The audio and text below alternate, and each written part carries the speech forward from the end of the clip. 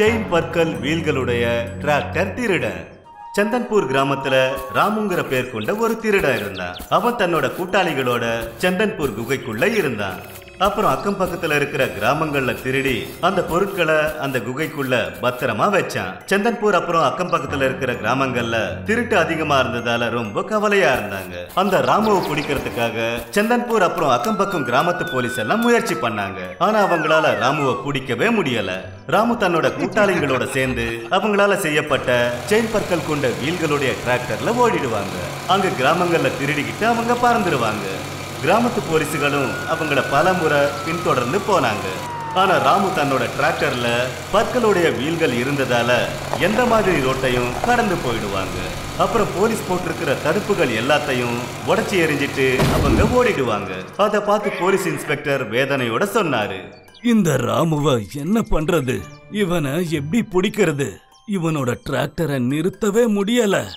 அதிகமா ஆயிட்டு இருக்கிற திருட்டால சந்தன்பூர் அப்புறம் அக்கம் பக்கத்து கிராமத்து தலைவருங்க நகரத்துல இருக்கிற போலீஸ் ஸ்டேஷனுக்கு போய் அவங்க கம்ப்ளைண்ட் பண்ணாங்க.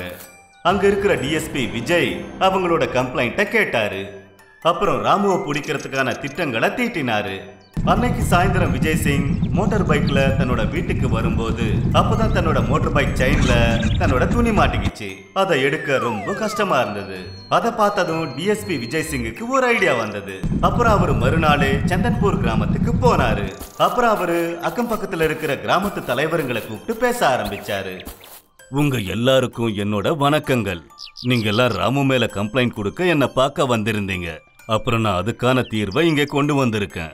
நீங்க எல்லாம் எவ்வளோ சீக்கிரம் முடியுமோ உங்க வீட்டில் எவ்வளோ பழைய துணியெல்லாம் இருக்கோ அதெல்லாம் எடுத்துக்கிட்டு போலீஸ் ஸ்டேஷன் வாங்க. நாங்கள் எல்லாம் ராமுவை பிடிக்க திட்டம் போட்டுக்கிட்டு இருக்கோம். டிஎஸ்பி விஜய் சிங் சொன்னதை கேட்டதும் அங்க இருக்கிறவங்க எல்லாம் சிரிக்க ஆரம்பிச்சாங்க. அப்புறம் சிரிச்சுக்கிட்டே சந்தன்பூர் தலைவர் சொன்னாரு ஐயோ சார் உங்களால ராமுவை பிடிக்க முடியாது. இப்போ எங்க துணிமணிகளையும் எடுக்க பாக்குறீங்களா? இதெல்லாம் என்ன விளையாட்டு? துப்பாக்கி எடுத்துட்டு வந்திருக்கலாம் இல்ல பீரங்கி எடுத்துட்டு வந்திருக்கலாம். ஆனா பழைய துணியை கேக்குறீங்க? தலைவரையா நான் சொல்ற விஷயத்த கொஞ்சமாவது கேளுங்க. நான் இங்க உங்க துணிமணிகளுக்காக வரல. உங்க பழைய துணிகளை தான் கேக்குறேன். அதெல்லாம் சரி. உங்களுக்கு பழைய துணிகளை கொடுத்து என்ன நடக்குதுன்னு பாக்குறோம். மறுநாளே அக்கம் பக்கத்து கிராமத்து ஜனங்க எல்லாரும் பழைய துணிகளை வண்டியில நிரப்பி போலீஸ் ஸ்டேஷனுக்கு கொண்டு வந்தாங்க. விஜய் சிங் கிராமத்து ஜனங்க கொடுத்த துணிமணிகளை எல்லாத்தையும் ஒன்னு சேர்த்து எந்த வழியா ராமு தன்னோட குகைக்கு போறானோ அங்க ஒரு குழிய தோண்டி அந்த துணிகளை அங்க புதைச்சாரு. அதுக்கு மேல மண்ணை பரப்பி விட்டாரு. ரெண்டு நாளைக்கு அப்புறம் ராமு ஒரு கிராமத்துல திருடிக்கிட்டு தன்னோட இருப்பிடத்துக்கு அந்த வழியா போகும்போது விஜய் சிங் அவரோட ஜீப்ல அவங்கள ஃபாலோ பண்ணாரு. ராமு விஜய் சிங்க கேலி பண்ணி போயிட்டு இருந்தான். அடடே ஆபீசர் சாரா வாங்க வாங்க. பின்னாடியே வாங்க. வந்து பிடிங்க பார்க்கலாம். நீங்க எப்படி என்ன பிடிக்கிறீங்கன்னு பாக்குறேன் ராமு துணிங்க புதைச்சி வச்சிருந்த வழியில போகும்போது அவனோட டிராக்டர் வண்டியோட செயின் வீல் அந்த துணியில மாட்டிக்கிச்சு. அப்புறம் அவனோட டிராக்டரும் அதுல மாட்டிக்கிட்டு நின்னுடுச்சு. ராமுவோட டிராக்டரை போலீஸ் நாலாபுறமும் சூழ்ந்துட்டாங்க. அப்புறம் எல்லாரையும் கொண்டு போய் ஜெயில அடைச்சிட்டாங்க. கிராமத்து ஜனங்க எல்லாரும் டிஎஸ்பி விஜய் சிங்க பாராட்டினாங்க. அப்புறம் இது போலதான் டிஎஸ்பி விஜய் சிங் பழைய துணிமணிகளோட உதவியால ராமுவோட சைன்வில் டிராக்டரை பிடிச்சி சந்தன்பூர் அப்புறம் அக்கம் பக்கத்து கிராமத்து ஜனங்களுக்கு ராமு கிட்ட இருந்து விடுதலை கொடுத்தாங்க.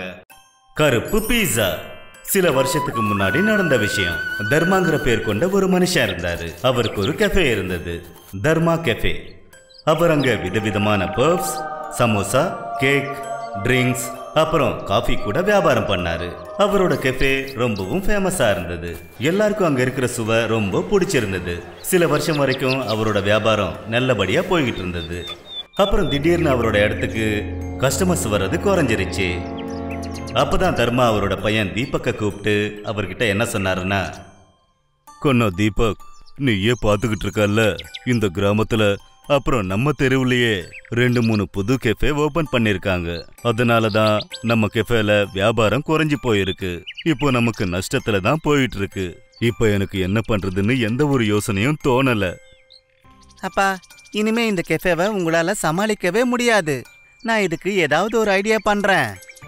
தீபக் அவங்க அப்பா கிட்ட இப்படி சொல்லிட்டு தன்னோட தலையில ஒரு பெரிய பொறுப்பை போட்டுக்கிட்டான். அப்புறம் தீபக் யோசிக்க ஆரம்பிச்சிட்டான். அவன் தன்னோட கெஃபேல முழுமையான மாற்றத்தை கொண்டு வர யோசிச்சான். அவன் உடனே தன்னோட நண்பனை வரவழைச்சு இன்டீரியர்ஸ் எல்லாத்தையும் மாத்த சொல்லி சொன்னான். நண்பா ஷேரு நீ என்னோட கெஃபேல புது இன்டீரியர் பண்ணணும்னு ஆசைப்படுறேன். அதனால அதை பார்த்து என்னோட கஸ்டமர்ஸ் அதிகமாவாங்கல்ல? சரி நண்பா இதெல்லாம் சுலபமான விஷயம். கொஞ்சம் கலர்ஸ் எல்லாம் பிரைட்டா போடுவோம். அப்புறம் லைட்டிங்ஸும் நல்லா பண்ணலாம். நீ வேணும்னா பாரு. அப்புறம் உன்னோட கெஃபே ஃபைவ் ஸ்டார் மாதிரி தெரியும். அவன் எப்படி யோசிச்சானோ அதே மாதிரி நடந்தது. கெஃபேவோட மொத்த லுக்கையும் தீபக்கும் ஷேரும் சேர்ந்து மொத்தமா மாத்திட்டாங்க. ஆனா அவனோட கெஃபே சேல்ஸ்ல எந்த ஒரு மாற்றமும் ஏற்படல. அப்பதான் ஒரு நாள் தீபக் ரொம்ப சோகமா வீட்டுக்கு வந்தான். அவன் சோகமா இருக்கிறத பார்த்துட்டு தர்மாஜி கேட்டாரு என்னப்பா ஆச்சு கண்ணா? இன்னைக்கு நீ பார்க்க சோகமா இருக்க? என்ன பண்ண சொல்றீங்கப்பா? நான் நம்ம கெஃபேல நிறைய மாற்றத்தை செஞ்சேன். அப்படி இருந்தும் சேல்ஸ் அதிகமாகவே இல்லை. நான் என்ன பண்ணணும்னு எனக்கே புரிய மாட்டேங்குது. கண்ணா நீ ஒரு வேலை பண்ணு. புதுசா ஏதாவது ஒரு உணவு ஐட்டமை ஸ்டார்ட் பண்ணு. அது நம்ம கெஃபேல மட்டும் கிடைக்கிறதா இருக்கணும். அந்த உணவை சாப்பிடுறதுக்காக ஜனங்க ஓடோடி வரணும். அப்பாவோட பேச்சை கேட்டுக்கிட்டு தீபக் இன்டர்நெட்ல தேட ஆரம்பிச்சான். விதவிதமான டிஷ்ஷஸை பார்க்க ஆரம்பிச்சான். ஆனா அவனோட பார்வை ஒரு பிளாக் பீட்சா மேல பட்டுச்சு. தீபக் அந்த பிளாக் பீட்சாவை தன்னோட கெஃபேல பண்ணணும்னு நினைச்சான். அவங்க கெஃபேல பிளாக் பீட்சா செய்ய ஆரம்பிச்சதுல இருந்து அதுக்கான டிமாண்ட் அதிகமாயிடுச்சு. ஏன்னா பிளாக் பீட்சா பார்க்கறதுக்கு கருப்பா இருக்கும். ஆனா ரொம்ப சுவையா இருக்கும். கிராமத்துல நகரத்தை சேர்ந்த பெண்கள் ஆண்கள் குழந்தைகள் அந்த பிளாக் பீட்சாவை சாப்பிட வர ஆரம்பிச்சாங்க. தீபக்கும் பிளாக் பீட்சாவோட போட்டோஸை கெஃபேவோட நாலாபுரமும் போட்டுட்டான். சில நாட்கள்லயே அந்த பிளாக் பீட்சாவால லட்சக்கணக்கில் பணம் சம்பாதிக்க ஆரம்பிச்சான். அப்புறம் ஒரு ஆள் வந்து தீபக் கிட்ட என்ன சொன்னாருன்னா ஏன்பா தீபக் அண்ணா நீ மறுபடியும் உங்க அப்பாவோட கெஃபேவோட தொலைஞ்சு போன வியாபாரத்தை புதுப்பிச்சு கொண்டு வந்துட்ட. நல்லா இருப்பா கண்ணா சந்தோஷமா இரு.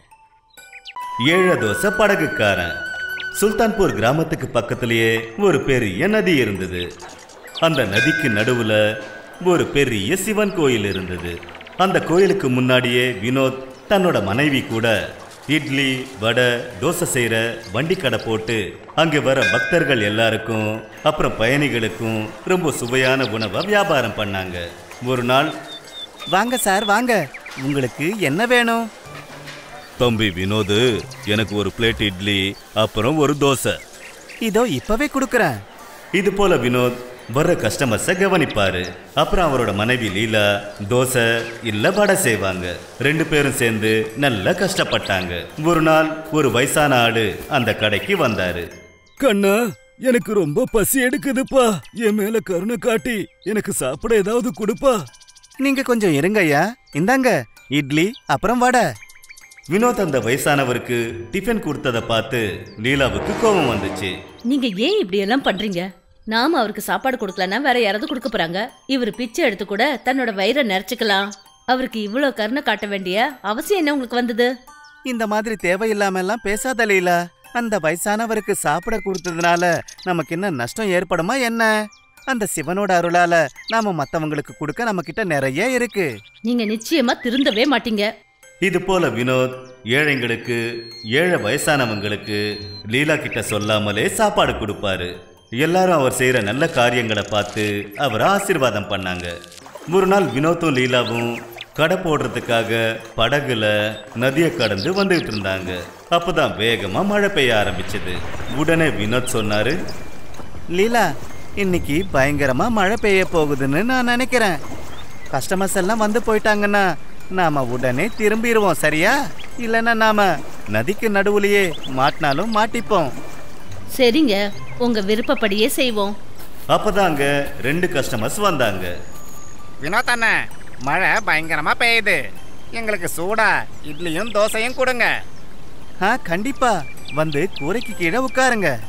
கொஞ்ச நேரத்துல அதே வயசான ஆளு மறுபடியும் அங்க மழையில நனைஞ்சுக்கிட்டே வந்தாரு. கண்ணா இன்னைக்கும் எனக்கு சாப்பிட ஏதாவது கொடுத்து எனக்கு உதவி பண்ணுப்பா.